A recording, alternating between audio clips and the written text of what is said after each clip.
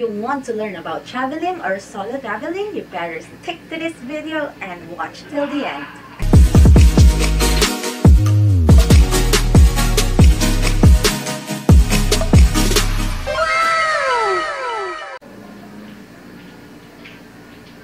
Hi guys! Welcome to my channel. I'm Sam. I love to travel and I love photography. So this is actually the first YouTube video na i-upload ko.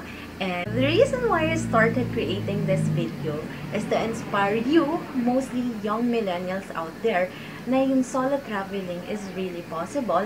And this is also a platform to share with you my experience. I-share ko sa inyo guys yung advantages and disadvantages of solo traveling. Hindi ko talaga binalak na mag-solo travel.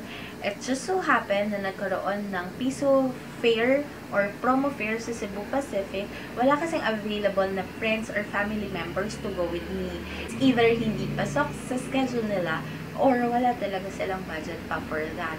And then, yung Pisa Fair, nangyari siya noong November 2017. Doon ako nakapag-book ng flight from Bang uh, from Manila going to Bangkok, Thailand.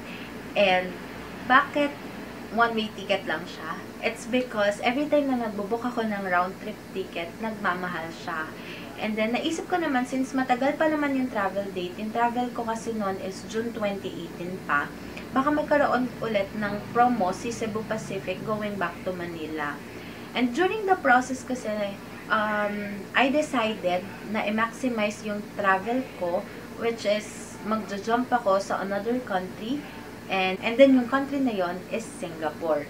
So, what I did was, naghanap ako ng um, airline na nagkikater from Bangkok, Thailand to Singapore, and ang nahanap ko is yung Thai Lion Air. Nakapag-book ako ng flight for around 800 baht. If i-convert mo siya into peso, it's around 1,200 pesos lang.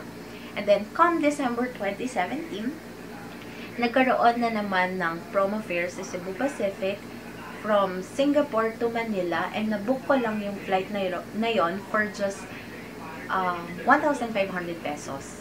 So, all in all, yung flight booking ko ang nagastos ko lang is more or less 3,500 pesos. So, ganun siya kamura. And then, dun na nag-start yung solo traveling adventure ko. Yung na i-share ko sa inyo guys is yung disadvantages of solo traveling. So, first disadvantage na na-notice ko kasi is solo traveling, it's costly. It's costly because yung hotel booking mo, yung pamasahe mo, yung pagkain mo, wala kang kahati. When you travel solo, guys, you are financially responsible for yourself. So, you better prepare your budget. Or, prepare an emergency fund in case na maubos yung budget mo, at least meron ka pang allowance. Okay? Na hindi mo talaga siya uubusin.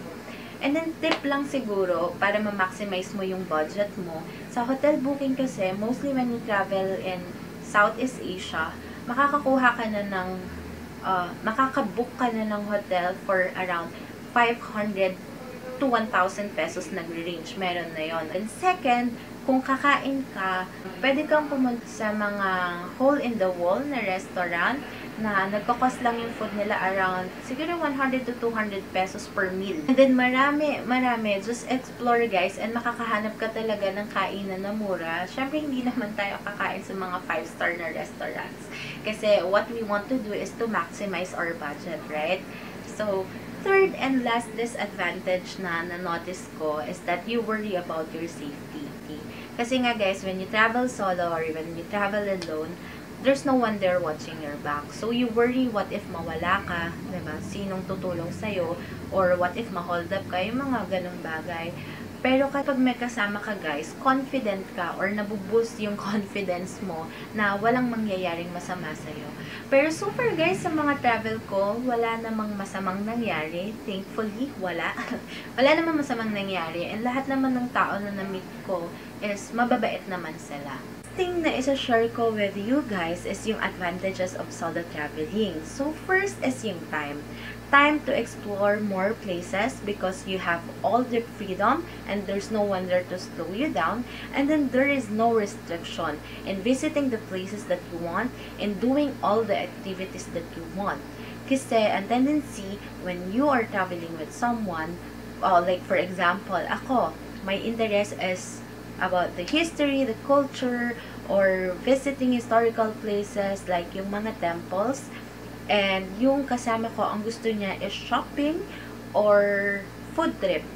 So with that, parang hindi masyadong nagko-connect or hindi nagko-connect yung mga interest namin.